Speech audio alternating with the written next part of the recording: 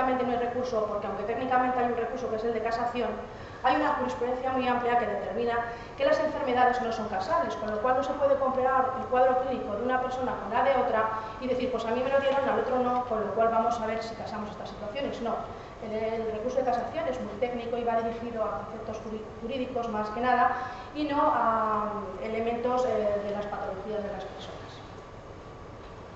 Bueno, Ahora lo que seguramente os resultará más práctico que estos elementos básicos. Los consejos que yo recomiendo a las personas que están interesadas en iniciar un procedimiento de incapacidad, incapacidad permanente. Es importante tener un cierto control sobre qué informes se aportan al expediente administrativo. No deben aportarse informes innecesarios y de descarte. A esto me refiero con el hecho de que, vamos a ver, todos los informes que están en el expediente administrativo, hemos visto que el juzgado los pide y que luego en el juicio el IS no va a poder aportar. Es muy típico que una persona con fibromialgia pueda tener parestesias en, los miembros superiores. Y es muy típico que el médico le pida un electromiograma para ver si tiene síndrome de túnel. O que le pida resonancias magnéticas para ver si tiene afectaciones cervicales. O para ver si tiene hernias lumbares. Bueno, pues si vuestras resonancias magnéticas os han dado que estáis normales, no aportar esos informes al expediente, porque el INS cuando llega al juicio va a empezar a decir, señoría, todo está normal. Y ya bastante problema tenemos con que la fibromialgia da muchos valores normales en muchas cosas, como para que además nosotros añadamos informes que ha realizado el médico para descartar otras patologías, ya que la eh, diagnóstica fibromialgia y síndrome de fatiga crónica en muchos casos también es por descarte, como para que encima nosotros eh, empecemos a decir que no tenemos nada a través de informes, porque pueden ser mal interpretados y mal utilizados, o sea, por la parte contraria en un proceso. Y de verdad que es posible que si queremos una incapacidad permanente acabemos en un juicio.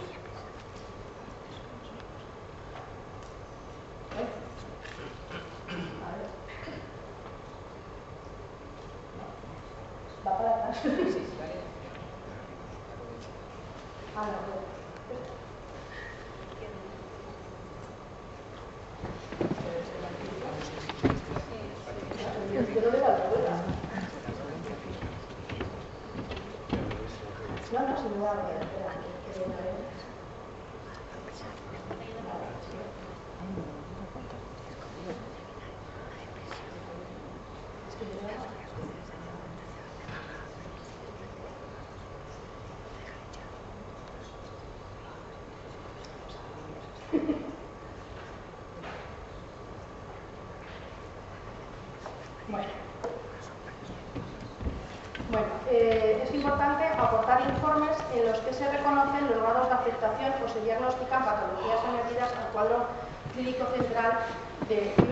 síndrome de fatiga crónica y SQL.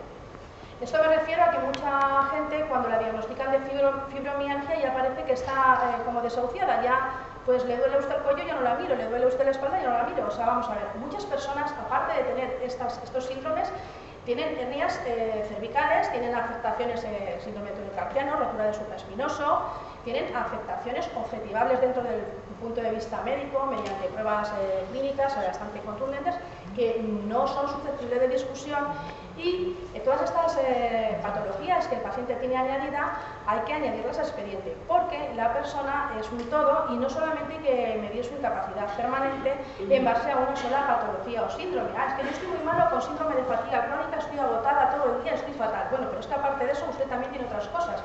Todo lo que usted tenga tiene que reflejarse y tiene que completarse en el expediente administrativo. Los, informes más valorados generalmente por el juez y también por el, propio médico evaluador son los informes de los especialistas. En este sentido, tengo que romper una lanza en el sentido de que yo considero que los informes de atención primaria también son muy importantes en estos síndromes porque los que realmente llevan los seguimientos de los pacientes en los últimos tiempos son ellos. Son los que le recetan, los que le hablan baja, los que ven lo mal que están, los que les cuentan, los que entienden la evolución que lleva la persona. Eh, lo que sí es cierto es que el diagnóstico indefectiblemente tiene que estar realizado por el especialista correspondiente. Y aparte de eso es conveniente pues, que atención primaria, que es el único, el único médico del sistema de salud pública que conoce el conjunto de patologías que tiene el paciente, no solamente ese pequeño estadio eh, que controla el especialista, pues que también eh, lo diga, porque una persona que tiene un cuadro clínico con una pluripatología tremenda, pues hombre, eh, no puede valorarse igual que una persona que, que no tiene esa pluripatología. Es conveniente que en el proceso la actuación de un perito médico. A esto me refiero a que si se va a ir a un proceso judicial y no antes, eh, sí es cierto que el juicio sale mejor, por decirlo popularmente, con un perito médico. Ahora bien, el perito médico, señores, no es determinante. Es decir, el, el juez va a valorar eh, el informe pericial y la exposición que haga el médico en el juicio desde un punto de vista eh, de me fío o no me fío. Como es un médico privado, generalmente, pues hombre, tiende a, según cree el juez, a beneficiar. Ahora bien, en lo que realmente se tiene que basar eh, la, solicitud de la incapacidad y que prospere el procedimiento es en el expediente administrativo y los informes. Y el perito médico lo que tiene que hacer es una buena interpretación y una buena disposición. Y es importante esta colaboración con el abogado porque en el juicio es importante que haya también un médico que aparte de que el abogado pueda hablarlo y por la experiencia que pueda tener en las patologías pueda discutirlo, es también conveniente utilizar este diálogo y este informe desde un punto de vista especialista del médico para que efectivamente el médico pueda aclarar dudas al juez. El juez, eh, realmente uno de los problemas que hay en el procedimiento es que de pronto estamos tres juristas peleándonos y hablando de medicina.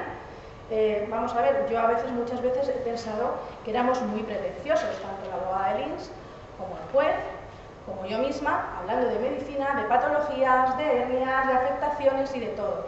Eh, bueno, pues es conveniente que entre un médico haga una interpretación del expediente administrativo y que por supuesto sea honesto y coherente, que no exagere. A los jueces no se les puede engañar en este sentido, porque los jueces están todo el día escuchando cosas de estas y si un perito les miente, lo van a detectar y ese perito estará tachado para nunca jamás porque no se fiarán de él. Por otro lado, recurrir a la clínica médico-forense conlleva un riesgo porque tampoco los médicos de la clínica médico-forense estas patologías las acaban de entender muchos de ellos y si tenemos mala suerte y damos con uno que no cree que la fibromialgia o síndrome de fatiga crónica o el síndrome de tolerancia química exista, pues está claro que nos va a hacer un informe diciendo que no nos pasa nada.